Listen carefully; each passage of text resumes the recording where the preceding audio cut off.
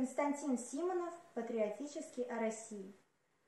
Касаясь трех великих океанов, она лежит, раскинув города. Покрыта сеткой меридианов, непобедима, широка, горда. Но в час, когда последняя граната уже занесена в твоей руке, и в краткий миг припомнить разом надо все, что осталось вдалеке.